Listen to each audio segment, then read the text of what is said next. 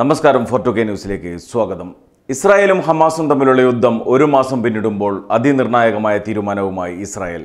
ഗാസയിൽ ശക്തമായ ആക്രമണം നടത്തിക്കൊണ്ടിരിക്കുമ്പോൾ തന്നെയാണ് ഈ തീരുമാനം പ്രഖ്യാപിക്കുന്നത്. ഗാസയിൽ ഹമാസ് സൈനിക കേന്ദ്രത്തിൽ ആക്രമണം നടത്തിയെന്ന് അവകാശപ്പെട്ടും അൻപതോളം ഹമാസ് പോരാളികളെ വധിച്ചുവെന്നും ഐ ഡി എഫ് അവകാശപ്പെട്ട ഈ ദിവസം തന്നെയാണ് ഇസ്രായേലിന്റെ പുതിയ പ്രഖ്യാപനവും വന്നിരിക്കുന്നത്. ദിവസവും നാല് മണിക്കൂർ വെടിനിർത്തൽ ഇടവേളകൾ നടപ്പാക്കാൻ തീരുമാനിച്ചതായി ഇസ്രായേലിന്റെ ഭാഗത്ത് തീരുമാനമുണ്ടായതായി വൈറ്റ് ഹൗസ് ആണ് അറിയിച്ചത്. വെടിനിർത്തലിന് മൂന്ന് മണിക്കൂർ മുമ്പ് പ്രത്യേക അറിയിപ്പ് നൽകുമെന്നാണ് പ്രഖ്യാപനം. അതേസമയം ഇസ്രായേൽ നേതാക്കളുമായി ആഴ്ചകളായി U S president Joe Biden ചർച്ചകൾ നടത്തുന്നുണ്ട്. മനുഷ്യാവകാശ സംബന്ധമായ കാര്യങ്ങളായി യുദ്ധത്തിന് താൽക്കാലിക ഇടവേള നൽകണമെന്ന് ബൈഡൻ ഇസ്രായേലിനോട് ആവശ്യപ്പെട്ടിരുന്നു. അതേസമയം ബൈഡന് യു എസിൽ സമ്മർദ്ദമേറി വരികയാണ്. വെടിനിർത്തലിന് ഇസ്രായേലിന് മേൽ യു എസ് പ്രസിഡന്റ് സമ്മർദ്ദം ചെലുത്തണമെന്നാണ് ആവശ്യം. ബൈഡന്റെ മുൻ ക്യാമ്പയിൻ സ്റ്റാഫുകൾ അദ്ദേഹത്തിനെതിരെ രംഗത്ത് വന്നിട്ടുണ്ട്. യുദ്ധം അവസാനിപ്പിക്കാൻ ബൈഡൻ മുൻകൈയെടുക്കണമെന്നാണ് ഇവരുടെ ആവശ്യം. ബൈഡന്റെ തെരഞ്ഞെടുപ്പ് പ്രചരണത്തിന് ചുക്കാൻ പിടിക്കുന്നവരാണ് ഇവർ.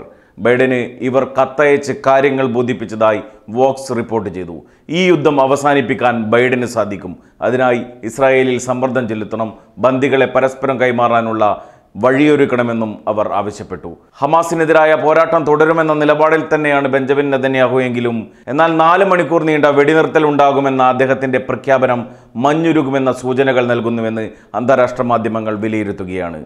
ചില തെരഞ്ഞെടുക്കപ്പെട്ട ഇടങ്ങളിൽ ഇനിയും പോരാട്ടങ്ങൾ ഉണ്ടാകും സാധാരണക്കാർ യുദ്ധഭൂമിയിൽ നിന്ന് സുരക്ഷിതമായി ഒഴിഞ്ഞു പോകാനുള്ള സൗകര്യമൊരുക്കുമെന്ന് നെതന്യാഹു പറഞ്ഞു. അതേസമയം ഇസ്രായേൽ നൽകിയിട്ടുള്ള ഇടവേളകൾ ഒട്ടും പര്യാപ്തമല്ലെന്ന് മനുഷ്യാവകാശ സംഘടനകൾ പറയുന്നു. പൂർണമായ വെടിനിർത്തലാണ് വേണ്ടത്. അല്ലാതെ ചെറിയ സമയത്തേക്ക് നിർത്തിവെച്ചതുകൊണ്ട് കാര്യമില്ലെന്നും ഇവർ പറയുന്നു. പലസ്തീൻ ജനതയെ സംരക്ഷിക്കാനും സഹായങ്ങൾ എത്തിക്കാനും അതുകൊണ്ട് മാത്രമേ പര്യാപ്തമാകൂ എന്ന് സംഘടനകൾ വ്യക്തമാക്കുകയാണ്. ഇസ്രായേൽ സൈന്യം കിഴക്കൻ ജെറുസലേമിൽ റെയ്ഡുകൾ ആരംഭിച്ചിട്ടുണ്ട്. ഒരാൾ അറസ്റ്റിലായതായി പലസ്തീൻ വാർത്താ ഏജൻസി വഫ റിപ്പോർട്ട് ചെയ്യുന്നു.